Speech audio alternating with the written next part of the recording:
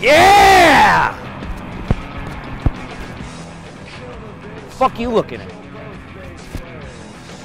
Get some fucking money. Get this fucking drink on.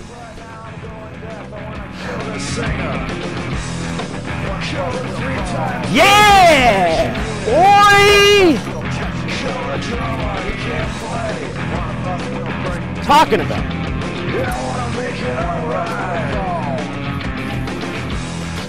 Oh, John, do you have any Xanax? Does this look like a fucking drugstore to you? I look All like a right, fucking okay, a nickel bag.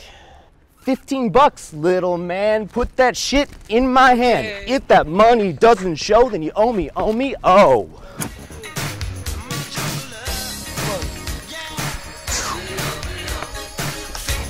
Okay, and this my head with my thing, Silent Bob.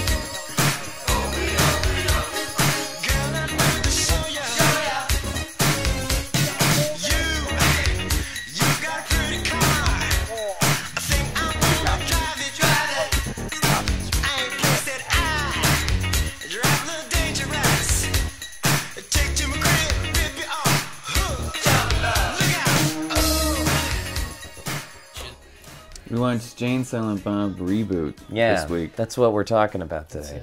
What a fun intro. what a what a way to start. It was a great day. It was so much fun going out there and making that. And middle school me was really happy uh, to have done that. I, I remember being a kid in Florida and looking up and finding the real store and like calling them. And uh, getting to go there and like shoot there and be, meet some of the locals was absolutely hysterical and fun and like a great day.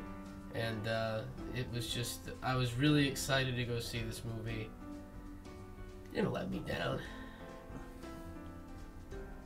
That was my. That was Anthony Del Grosso, everybody. It's not that bad. What do you think, John?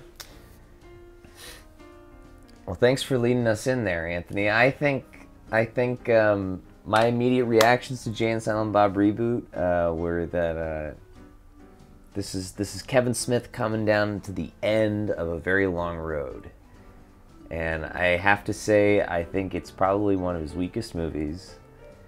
And um, that doesn't mean that I didn't enjoy things about it. I thought it was actually a pretty good movie, uh, but I have I have to say I've, I definitely missed Red State, but I saw Tusk, and then I missed Yoga Hosers, and those are his most recent films.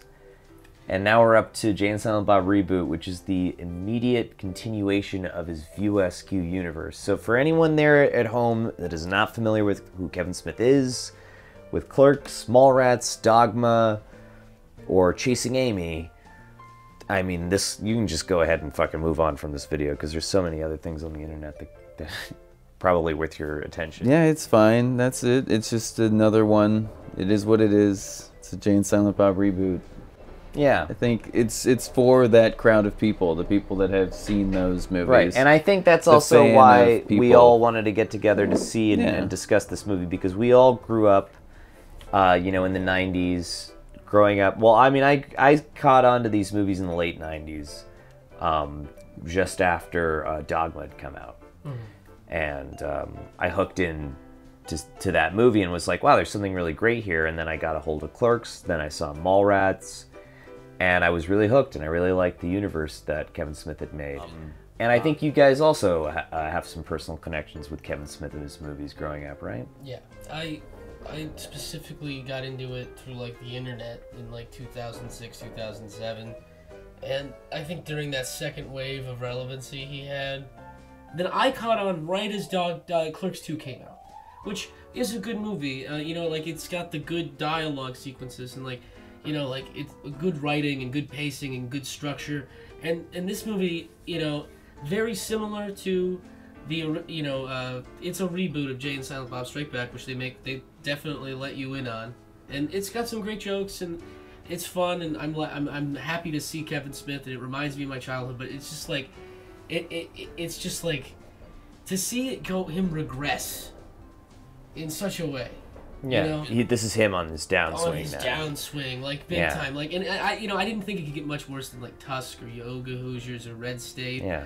or Cop Out or Zack and Miri Make a Porno, or all the bad movies he's made. In you know, Sure, since, but out of like his first core like four films out of the gate, which are just fantastic, Yeah. like, good movies. You know, those are ones that you that kind of speak to you, That's right? right, and yeah. I, I was with from that era, and then you know I like Jay and Silent Bob Strike Back for sure. It's funny.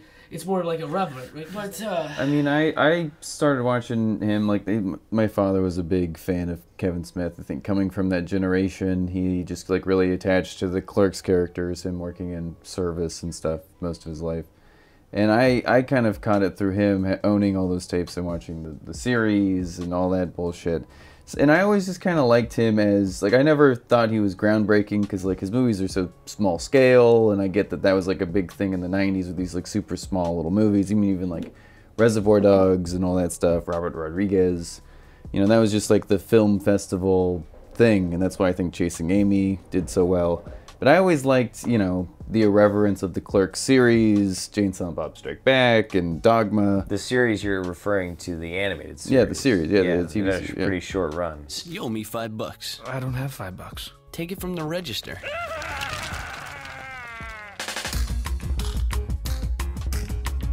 Yeah, but that's you know I had that on DVD growing up, watched that all the time. I love Jane, Silent Bob, you know, I love Strike Back, all that shit.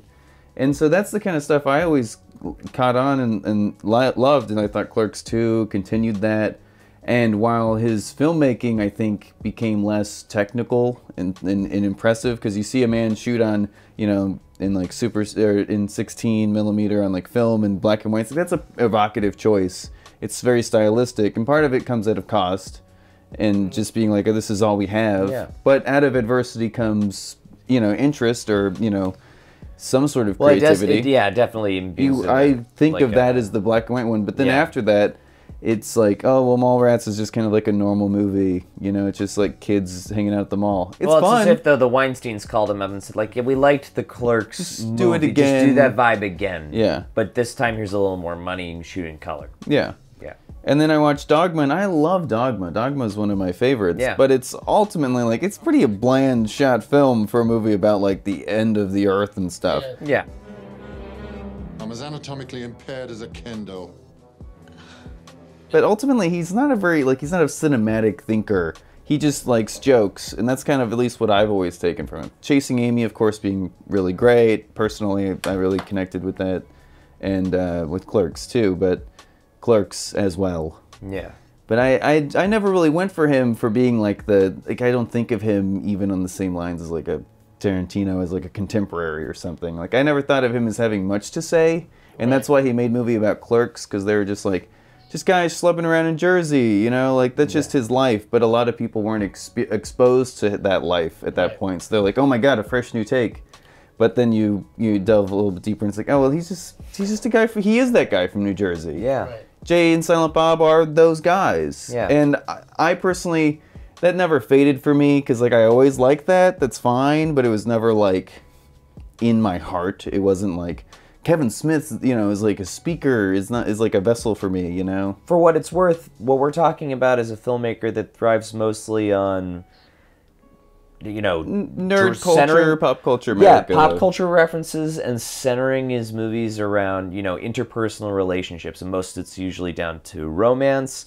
And so then, like, and his, I think his third main theme is just the View Askew universe at large. You get Yeah. every one of his movies in the View, View Askew universe, of course. Yeah. Have the cross pollination of characters. Yeah, but now with all of that out of the way and having covered who Kevin Smith sort of is as an indie filmmaker I mean, coming haven't- up but through the rise. Did anybody really mention his latter half of his movies? Well, I feel yeah. like that's really the point for me. Is that's the split? Is Yeah, like, bef- like is like up until even Zack and Miri's like that's like the turning point, and then Cop Out's full Jersey, terrible. Jersey Yeah. Girl. Well, that's That's that's in the mix bye-bye. because that's yeah, but that's make- like in the mix of like bad, but that's Oh, it- he made Clerks too, yeah, which is just, which is a and it's a yeah. good- Clerks 2 is one. actually alright, especially as a sequel. It's pretty good. I've probably seen it the least out of all of like his good movies. No, I saw that in theaters when it came out and I enjoyed it a lot. I saw that one quite a bit just because the Yeah, timing yeah. of like how old I was. And you know, and there's nothing, and there's something to say about that. I think the reason why Clerks 2 works so well as uh,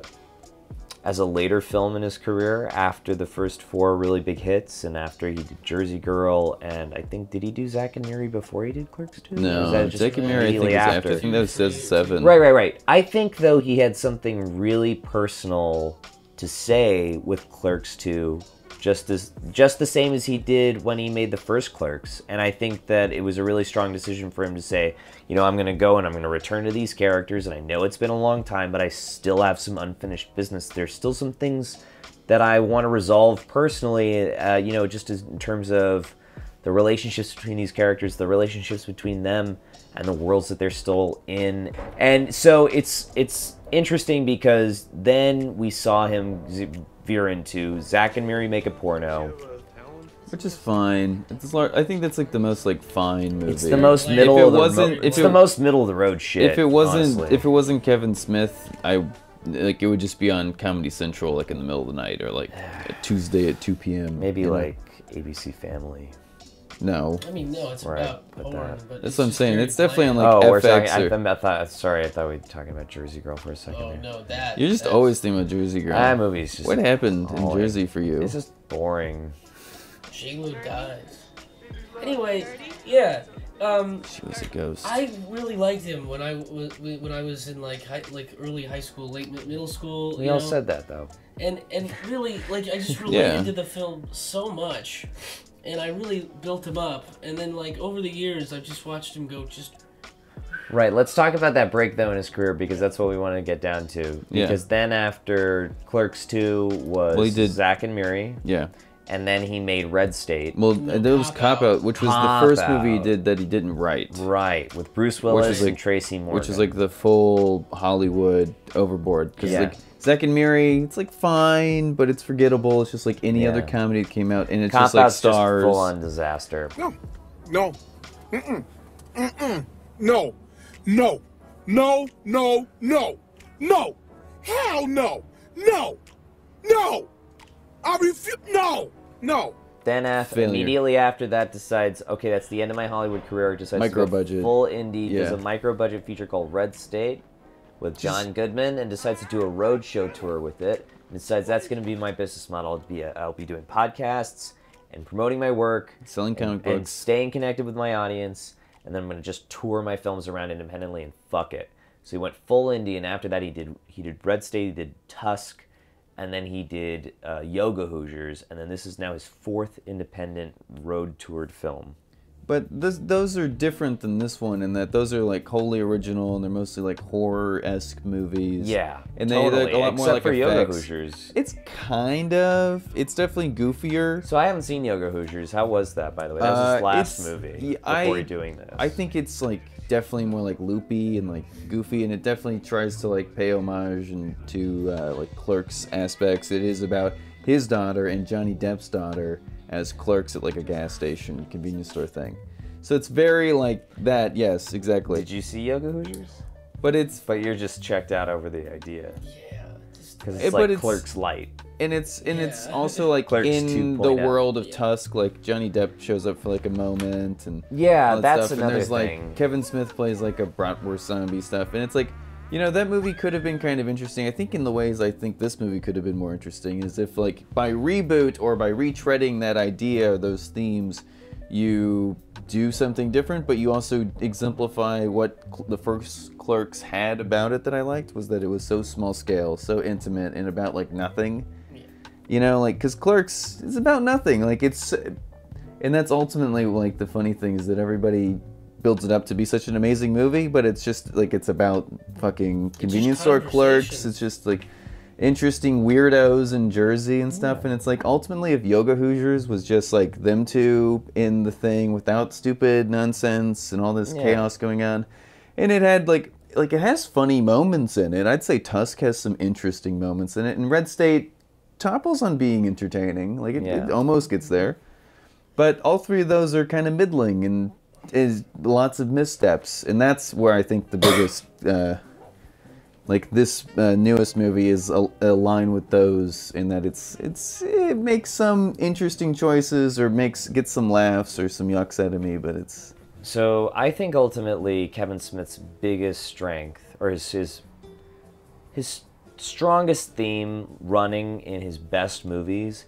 has to center around people telling stories. And when I think about what he's best at, it's like everyone's always kind of made that immediate connection, especially when he was coming up. Like, oh, his dialogue is great. It's like a trademark, you know, style in his movies, sort of like Tarantino has his sort of stamp on his dialogue. You know, Kevin Smith has his definite brand of dialogue. And one thing he's always excelled at in his first four movies, from Clerks to Mallrats to Dogma to Chasing Amy, is like verbal storytelling. He's not afraid to lock you in a room with characters and just have them access a part of their life, a part of their emotions, and bring you into what they've experienced and tell you a story from beginning to end.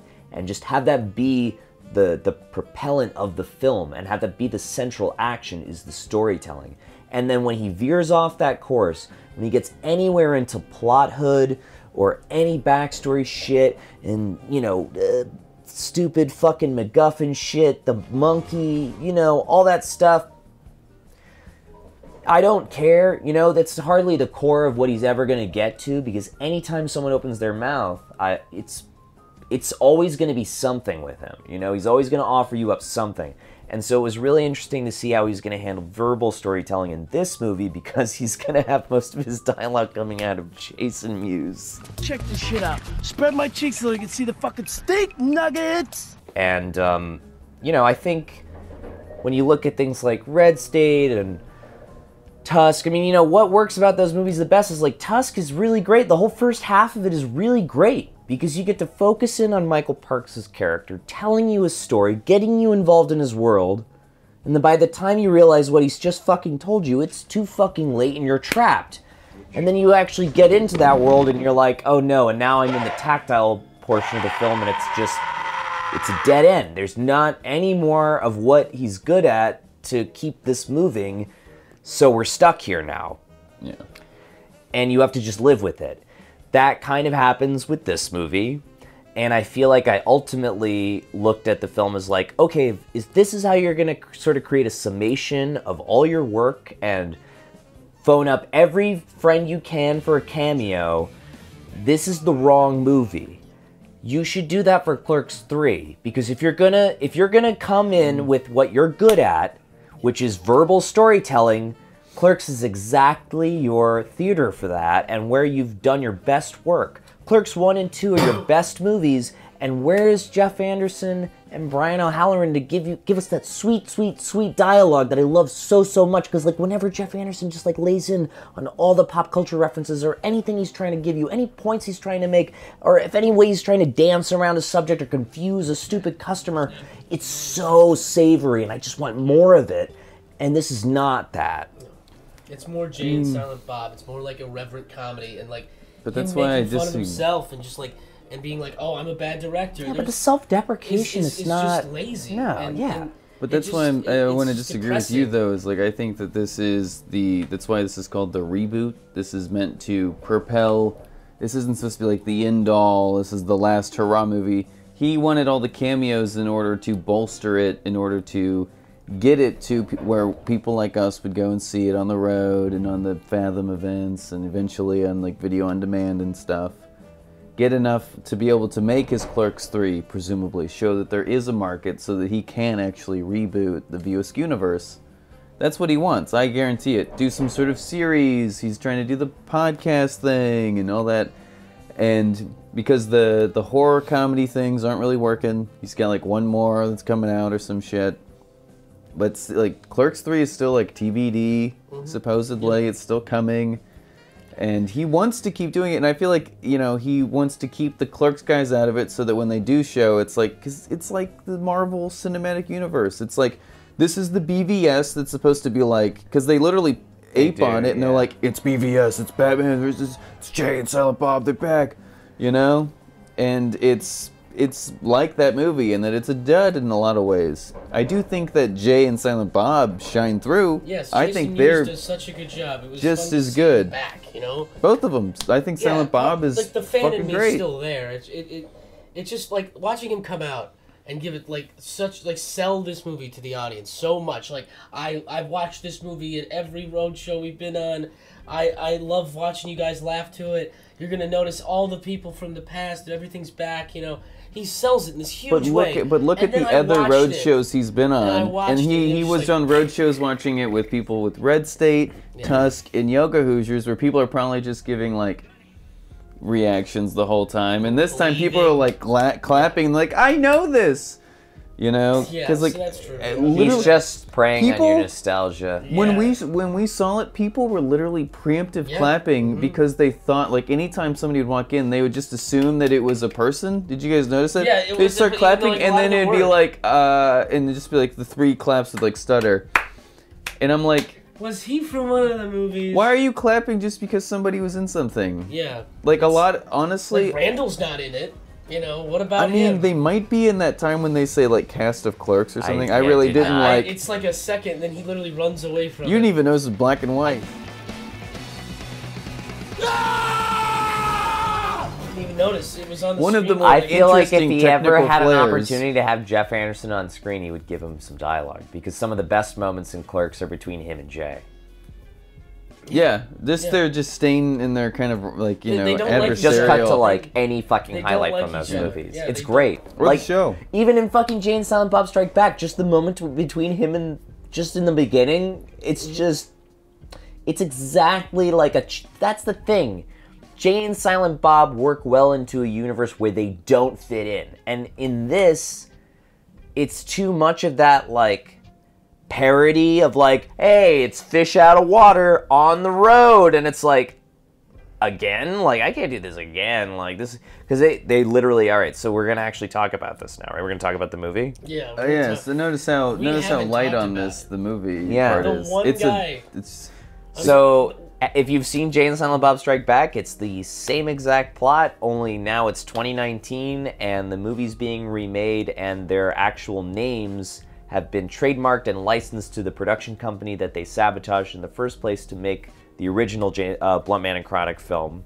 So now that setup really worked on me though. Yeah. First few scenes I was into because I'm like, what is this? Yeah. Just things Yeah. are happening. And I'm like, clever enough what- to get yeah. you in, It- it- and then And then the Zack and Miri porno guy is now roped into the Views universe. Yeah. Yeah, yeah, yeah, Yeah. So it's all It's fun. interconnected, and so now everybody that we've run into in the past is back and along the same path, and Uh. um, with some new, fresh faces. You know, Fred Armisen has a great walk-on role as Molly a- Sheridan has a terrible one. Yeah, that was weak. Uh, Yeah. And but that's how it ultimately, goes. That's the ultimately, we've discovered that Jay has a love child, or had a love child with Justice from the Jay and Silent Bob Strike Back movie.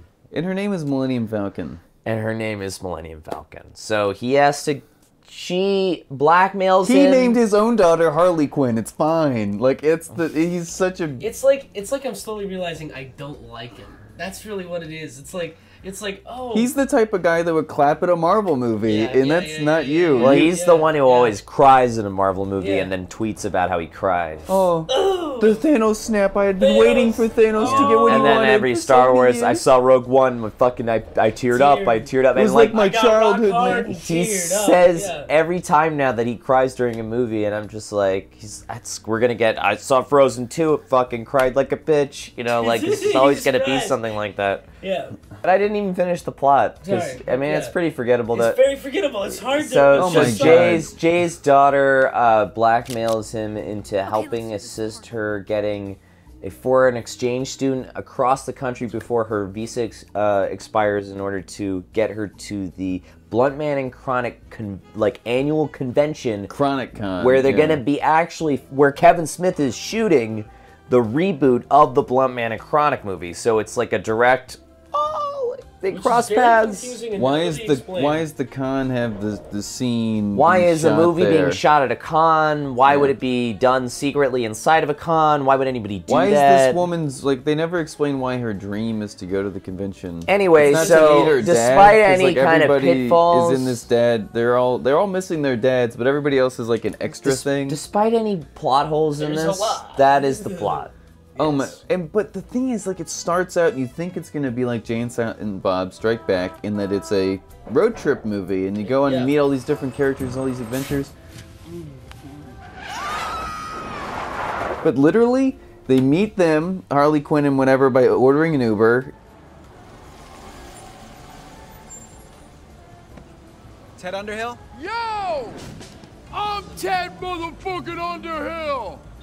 To, to Chicago, meets Justice on accident, seeing her on TV, and then uh, Harley Quinn is like, "Yeah, take us with you," but they don't know that Millennium it's- Falcon. They don't know that it's that they're related yet. Yeah. it's got to keep it a No, secret. he does know. Well, he knows, but she doesn't. Yeah. That's not even a point of contention.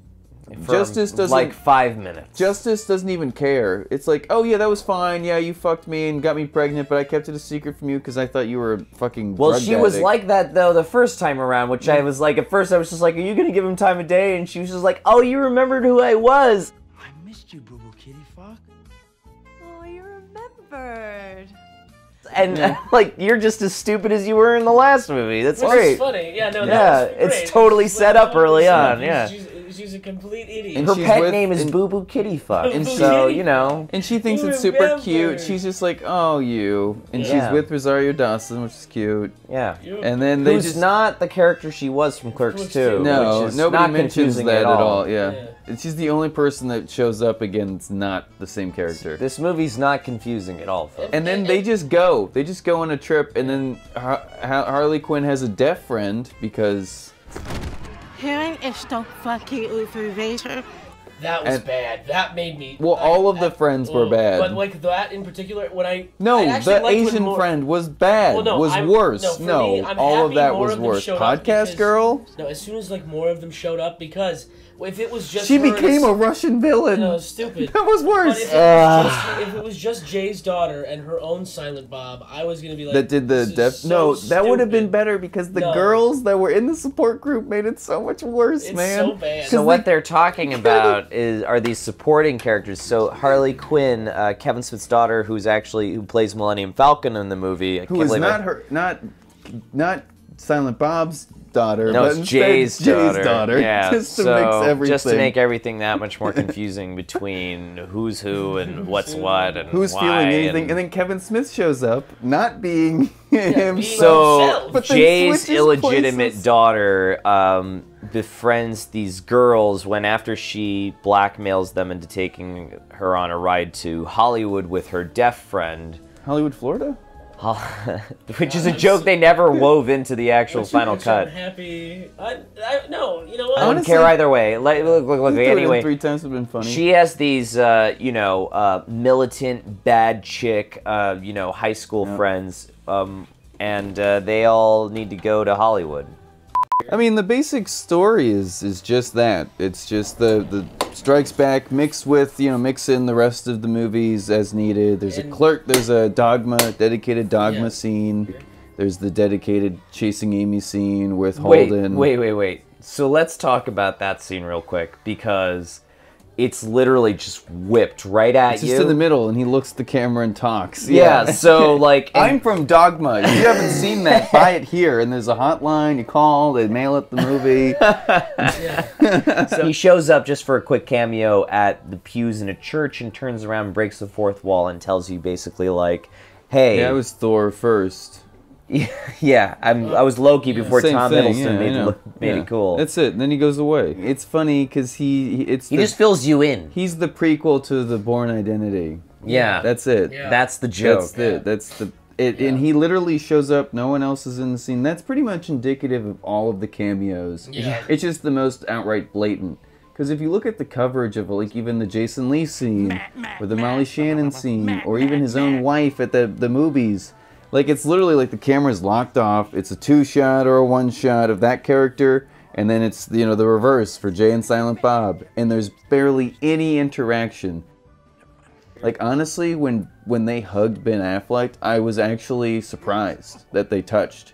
I didn't think that they would actually be in the room and it'd be like what we did for the Gemini Man, and Yeah. it would just be like, oh, it's just there, they're there, yep. Just look where the empty chair Yep. is. Just imagine where his eyes Exactly. would I be. thought that's what it would be, but they they actually touched me. Okay, hey, they actually got these guys in the same room, but it didn't feel that way. Well, let's talk about the very end when the Chinese. Well, that's when the movie. girl, That's when like it I feel like up to this crumbles in on point, up yeah. to that point, like it's more, it's hits and misses. Yeah, some that- jokes, like things audibly make me laugh. Yeah, yeah, no, I laughed. There's some funny stuff in there. Like, yeah, there's some funny stuff in this Like movie. Jane's like the and there's some honestly probably more most interesting Jane, uh, uh, Kevin Smith directing like cinematic choices In like with the. Method Man Yes. scene and all that that stuff was where they great. Yeah. and then like there's like a, cl- a Oh Klan yeah, scene because Millennium gives them the the pot brownies that are way too strong, and then they trip out, works, and yeah. then they they uh, get transported into, Into the how back seat high, of a car like a in how how high, high, like, yeah. high, yeah, with which Red is- Man. Which is Yeah. very Method funny. Man. Which is very, you know, that was It's the best well part of the movie. it of the looks it's actually shot in an interesting way like oh they're using like hallucinogen and stuff to it, like use Yeah. the wide angle But it wasn't lens and overdone. yeah Yeah. and the color was nice Unlike a lot of the jokes, it was not overdone. the rest of the movie is shot even like it's just like digital and Yeah. it's just like done Yeah. it's got whoever It's to shoot it Kevin Smith playing himself was bad.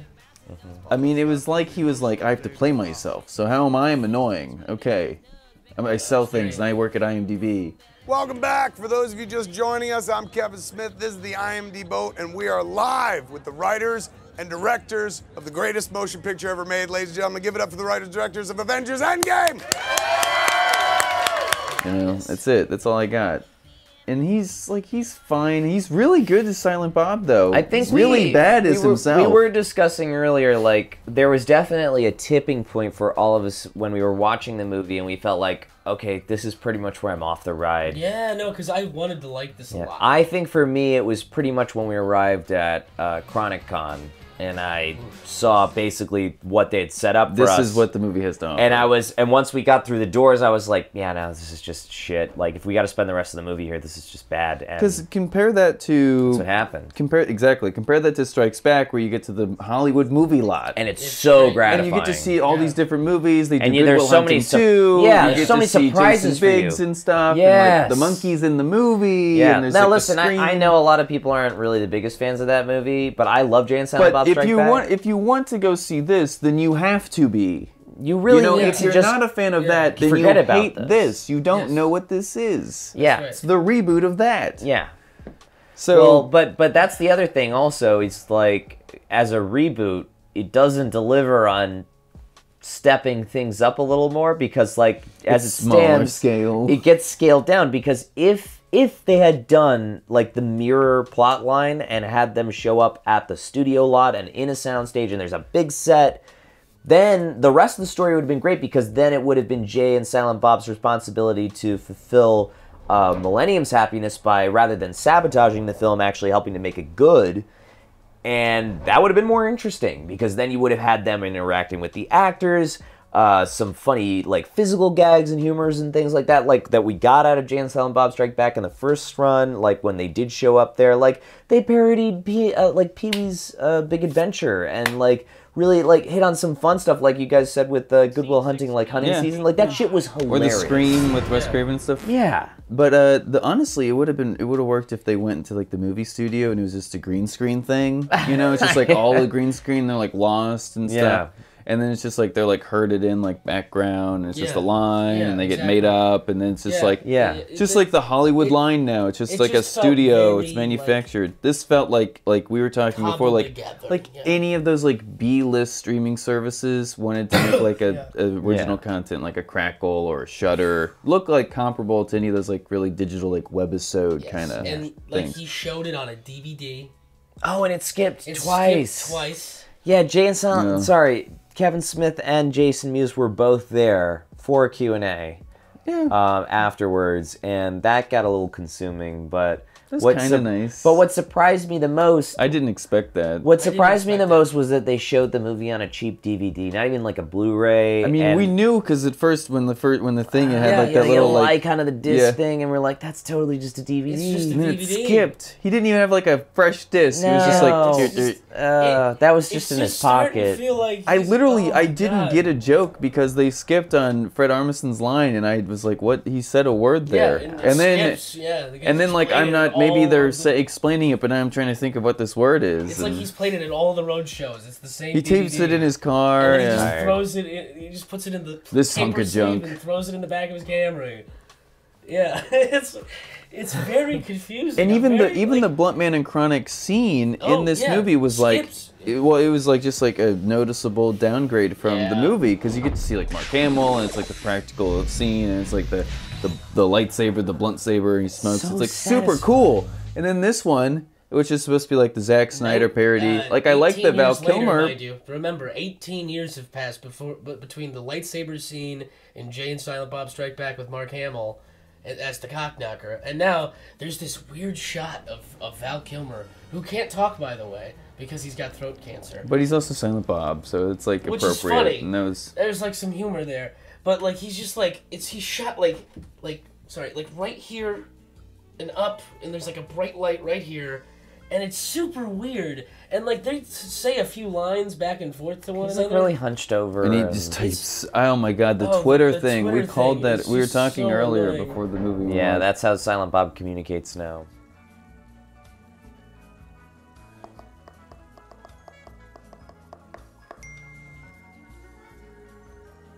It takes a And lot he, of time. he types like a fucking idiot with his index finger for like, and he just to do emojis. What is this? Why is he? Pro- it- You push one button and the emoji's there. You scroll through, they're there. He's got an emoji keyboard. Fucking there's boomers. That, there's that. He's only 49. He's a Gen Xer. There's that whole like. There's that whole like scene of like him like like getting laid at the movies. Well, that was his Oh, yeah. wife, but who was also what- playing kinda and not what- her same character too. That's right. She's just another lady. They don't recognize her from the jewel heist. Or, All right, let's from- not even talk about this movie anymore. Can can we just just get like so what out of a 10, right? like a three. Whoa. See, I wouldn't go that hard. I would say, I mean, I liked it more than I liked Gemini Man. I liked it more as like I a movie. I liked it more than like how Critters. we rated Gemini Man was like a, with a 3. Yeah, and I think Critters So was around there too. So Four, four. four, like Four's uh, probably more because like it's pretty flatly I'm, shot. I'm gonna say like six and a half out of ten. That's that's. I might. I mean, like I'm just kind of in the middle. I'm honestly feeling like a five. I could go either way because, like, I I'm honestly I'm laughed. four. I laughed. solid A, four. I thought a few really good jokes in there. I thought there were some good things. Well, I that mean that's really why I'm gonna say aback. six then, like a But solid I thought six. the s- plotting and like the ending. We didn't really talk specifics, but like, literally, they get to the con, and it turns out that the Asian woman is actually a Russian woman and isn't a podcaster, but a terrorist that wants to kill Kevin Smith because he makes Wait. bad movies. Yeah, you're right. Yeah, five. Or, or Right? something. That's it just the- cheapens that's the- everything. that's the It's- and then whole she's like, the "Oh, movie. Russian to- collusion. That's a joke." wants to influence our movies, pop culture. I don't. It's so it gets so It's like convoluted. a four or a five. Yeah. It's bad. I, I think it's funnier than I thought it was going to be, but it's the worse than I thought it was going to be too. Like the the actual Yeah. like filmmaking behind it and storytelling is, is significantly Yeah. worse, but the jokes it was funnier and more well acted. Like Jason Mewes, he he tries. this is what happens when celebrities hang out. You know, They they, also they end up cross-pollinate. making They're yeah. pedophiles. uh, just to sidetrack, because we're not gonna watch Celebrities. this. Uh, Doctor Sleep was also bad. So we got. But that. Jojo Rabbit's good. Go see that before you see any of this crap. Yeah. Um, I don't watch movies like that. Parasite, Jojo Rabbit, anything else totally worth seeing. Jay and Silent Bob reboot, five out of ten. I'd say yeah, pretty pretty much yeah. No, No, that- that's yeah, pretty much yeah, right yeah, about there. Right, right there. Right there. Comme si comme ça. okay. I just, I, We should get out of this now.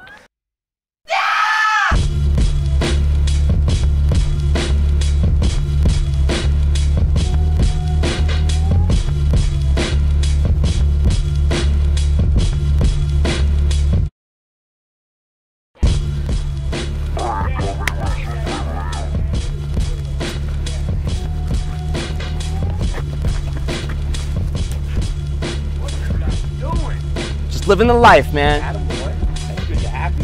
That's all that matters. Fucking A. That's right. That's right. You do it right. Attaboy. Good man. Good man. Have fun.